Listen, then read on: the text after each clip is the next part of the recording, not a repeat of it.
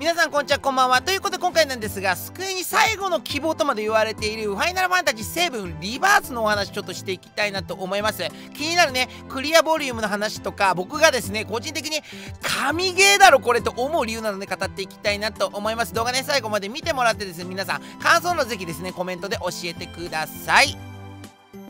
それではですね早速やっていきたいなと思います。本作のね説明ちょっと簡単にしていくんですけども、えー、ファイナルファンタジー7リバースはですね1997年に発売されたファイナルファンタジー7の原作ですね。のリメイク作品です。で今作なんですがワスラルル都までの原作をもとにですね、え、オリジナル要素を加えた作品になります。はい。このオリジナル要素っていうのがまあ、いろいろ賛否があると思うんですがいろいろあるんですよね。もちろんあんまネタバレになるんで、まあ、最後の方にちょっと言おうかなと思うんですがでこちらの作品なんですけども「ファイナルファンタジー7リメイク」というプロジェクトの3部作の2部作目になるということを覚えておいてください。でこれをやるんだったらこれの前にね1作目出ているのでそちらねやってからの方が楽しめるのかなと思います。んで2部作目の今作なんですがマコーロ都市ですね、えー、ミッドガルを脱出したクラウドたちが運命の壁を越えてですね未知なる公園の旅に出発ということでいくつかのワールドエリアを分かれた、えー、世界を自由に冒険できるということで。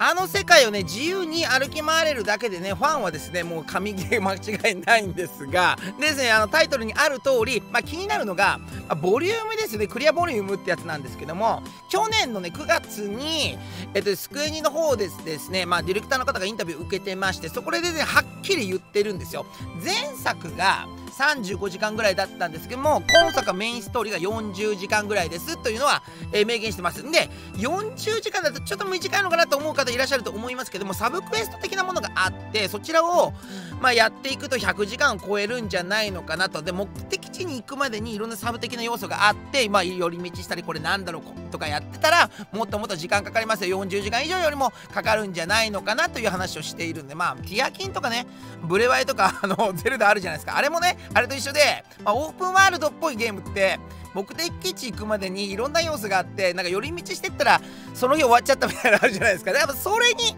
近いのかなと思うんですが、まあ、それだけのクオリティがあるかちょっと分かりませんが、まあ、インタビューではメインストーリーが40時間サブクエストやると100時間を超えると言われているそうです。でここからなんですけどもまあ、今作がですね個人的に神ゲーじゃねえのかと思うですね、え、要素をちょっといくつか語っていきたいなと思います。でまずはねこちらもうとにかくねこれが一番でかいと思うんですけども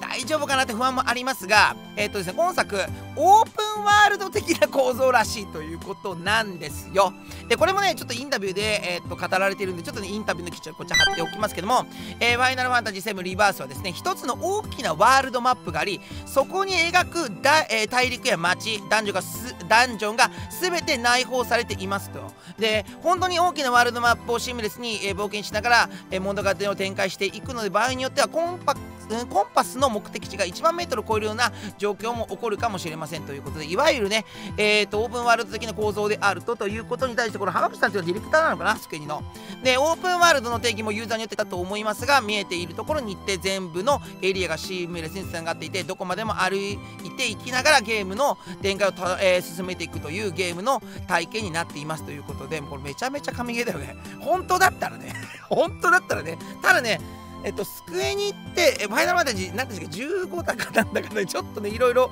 オープンワールドだったんだけど、結構叩かれたじゃないですか。で、あのイメージがあるから、本当かよって思う人いると思うんですが、まあ、ちょっとね、後ろに多分、PV ちょっともう俺流してると思うんですよ、今日。これ見る限り、いや、間違いないのかなってんで、これ、ね、えー、と、2部作目じゃないですか、リバースが。で、えー、とね、1作目めちゃくちゃ良かったでしょ。評価もめちゃくちゃ良かったので、まあ多分いける。これだけ見るとねまあ間違いないのかなと思っております。まあ信じましょう皆さん。でね次なんですけども追加キャラ来ますついに。はい。で追加キャラ,、えー、キャラなんですがこちら貼っておきますけど皆さん大好き。ヴィンセントそしてシドが来ます。はい。もうこれだけでねもう神ゲーじゃないですか。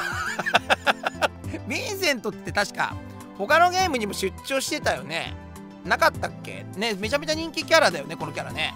なんか他のなんかゲームにも出てたような出てなかったような。あ違う違う。ヴィンセントのメインのゲームあったよね。なんか確かあったようなめちゃめちゃ人気キャラでね。でそして皆さん大好きファイナルファンタジーでまシドということで空はね誰のもんでもねシーナなんかのクソクソくらえってもんだよっていうことでちょっとなんか書いてあるんですがちょっと出てるか分かりませんけどもシドとか。あとですね、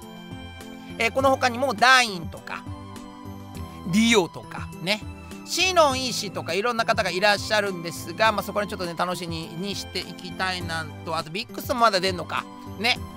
いろんなのが出ると。まあ、ここら辺はですね、もう追加キャラなのでね、まあ、追加キャラがね、増えるとこめちゃめちゃ嬉しいと思いますが、まあ、ここら辺ね、ちょっとね、ビーズしましょう。俺的にはシドがいいね。シドが出てくれるだけでも神ゲーであれば ファイナルファンタジーってシドのイメージがあるんで、めちゃめちゃかっこいい渋おじさんなんですが、ま、お兄さんなのかな？ちょっと覚えてないんだけど、まあ、こんな感じなのかなと。で、続きまして、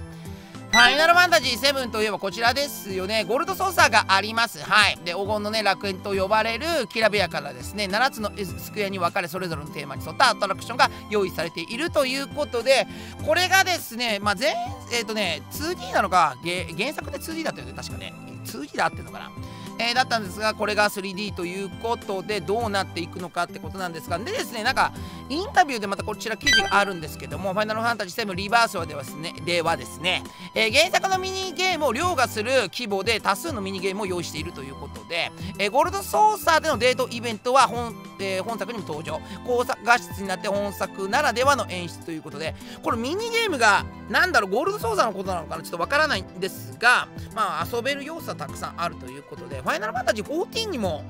ね、出張じゃなくご出張なのかなゴールドソースありますもんね。なので、まあ、ファイナルファンタジーといえばゴールドソーサーっていうものだと思うんですけどもね、有名だと思うんですが、こちらもですね、3D になって、どこまで遊べるのか、クリアした後、サブクエやった後も、ひたすらね、ドラクエの、ね、カジノみたいに入り浸れることができるのかちょっと分かりませんが、そこら辺もね、ちょっと楽しみにしていきたいなと思います。そしてね、次なんですが、えっとですね、バトルの連携っていうのがあるんですって。こちらね、ちょっとね、画像もちょっと出てると思いますけども、え2人のアビリティをがですね、協力して繰り出す強力なですね、攻撃ということで、戦闘をね、有利にする効果も同時に発生しますということで、え仲間との関係性を示すパーティーレベルを上げることで多,、え多彩なですね、え連携アビリティを解放できますということでこれちょっと画像出てるんですがクラウドエーレスのマジカルブルームという技が今画像に出てると思いますがこんな感じでねめちゃくちゃ綺麗だよね画像だけでも後ろピーム流れてると思うんだけどもう絶対神ゲーだよこれ ほんとねで下側なんですが皆様大好きティワですね。ティワとケットシーとモーグリーンダンクっていうのがあって、ティワがモーグリの範囲技を振り、え、範囲、え、え広範囲に振り回しですね、敵に向かってシュートしますということで、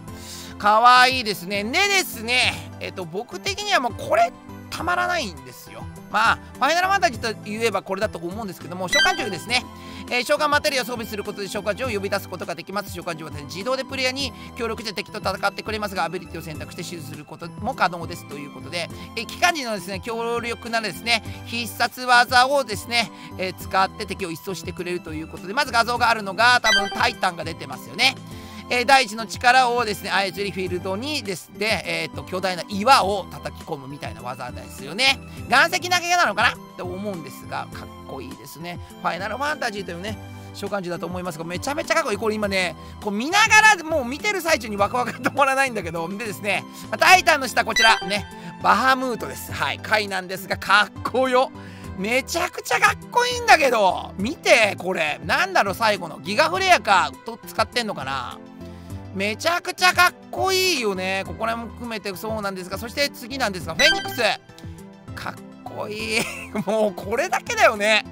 これだけで神ゲーってもう神ゲー神ゲーって言っちゃいけないんだけどもこれだけでねすごいよね。めちゃくちゃなんかスクエニのなんか久々のいやまあいつも本気なのかちょっと分かんないけど本気の本気をちょっと見たような感じがしますよね。一番最後のこれ見て。ねフェニックスね。すごいよね、まあ、これも含めて他にもねちょっとあの何でした？好感度の話とかもあったりするんですがまあそこらあんまちょっとねちょっとあんまりネタバレなのちょっと嫌なのでちょっとあれなんですがまあ召喚獣はすごいね。やっぱすごいですよね。楽しみですよね。で最後なんですがオリジナルストーリーということでちょっとネタバレになるのをちょっと控えるんですがやっぱ原作になかったルートが存在すると。そのルートが一回どうなってるのかっていうのがこのリメイクという作品のうんなんつったらいいですかもうちょっと言葉選びますけども。まあ賛否あるんですけどもな何々がこうなるとか誰かが生き残るとかいろいろそういうのがあるのかないのかとか。まあね、ザックスがなんで生きてるのかとかいろんなことがあるわけなんですよこのゲーム。なのでそこれがですね多分2部作ねこのリバースで多分どうなっていくのかっていうのが多分分かると思うんです。3部作が結局どうなっていくのかっていうのが分かると思うんですこれも含めてですね。まあ間違いなく神ゲーだろうというお話でした。よろしければですね皆さん、えー、感想はぜひねコメントで教えてください。それでは次の動画でお会いしましょう。バイバイ。